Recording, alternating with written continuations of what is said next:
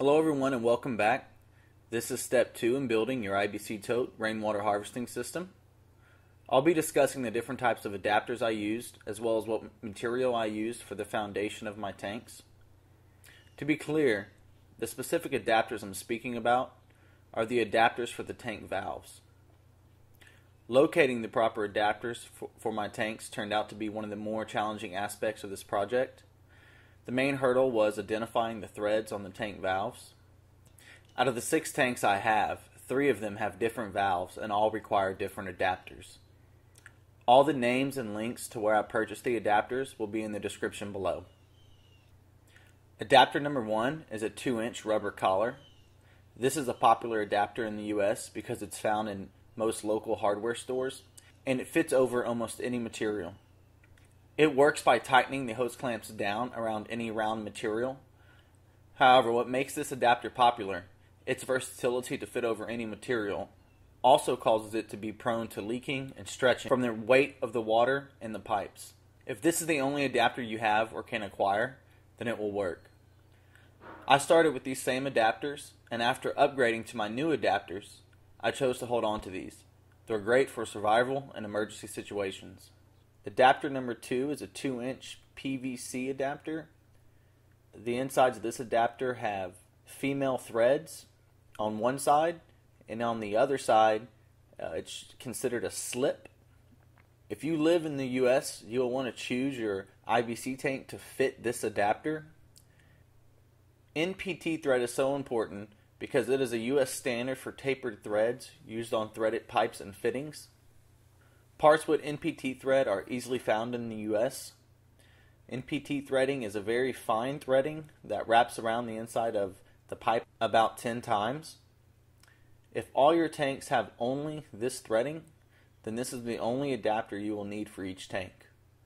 It will connect directly to your tank. From there, you will be ready to plumb the rest of your tanks together. If your tank has different or odd size threads, such as buttress threads or a cam lock, you will need additional adapters. It's likely to be adapter number 3 with buttress threads or adapter number 4, a cam lock adapter. Adapter number 3 is what I like to call a buttress adapter because it contains buttress threads. You can tell that these are buttress threads because they are very coarse and they only wrap around the adapter about three times. Take a quick look at the difference between buttress threads and NPT thread. The adapter on the left has buttress threads. Buttress threads are easily distinguishable compared to NPT threads. The buttress side of this adapter will connect to your tank. The NPT side will connect to adapter number 2 and should look something like this. Once you have these in place on your tank, you should be ready to plumb the rest of your tanks together. This is the last adapter I have any experience with. Adapter number four, a cam lock coupler. It has fooled me the most. Uh, from the looks of the tank valve, it appears that I'd be searching for an adapter with threads. I was a little worried though to see how little of threading there was and questions the strength uh, of the adapter that I was looking for. However, come to find out, uh, these threads on the valve are only for a cap and not for the actual adapter. The adapter that converts this valve will slip over the entire valve and lock into place by pulling two small metal bars back.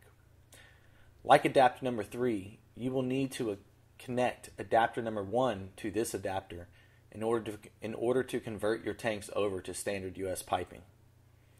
Once you have completed this, you are now ready to plumb the rest of your tanks together. Now for the base foundation of the tanks. Originally I started with two tanks and used some spare bricks I had laying around. This worked for the moment. Once I upgraded to more tanks, I decided it would be easier, cheaper, and more efficient to go with center blocks. They were easily available, cheap, and raised my tanks a few more inches off the ground. I laid the center blocks in a line along the front and back of the tanks. Then I laid a block in the middle of each tank. I haven't had any problems so far, and I feel confident about the center blocks. When building your system, you have many things to consider when deciding what material to use. The most important thing I would urge you to consider for your material and your foundation is consider the weight of your tank. Water is roughly 8 pounds a gallon, and that can add up quickly. Each one of my tanks weigh around a ton. I wouldn't recommend setting them on dirt. Uh, the cage could, could uh, rust out quicker, and they also might sink into the dirt, making them become unbalanced. Thanks for watching, and in the description below, I'll have all the names and links to where I purchased these adapters.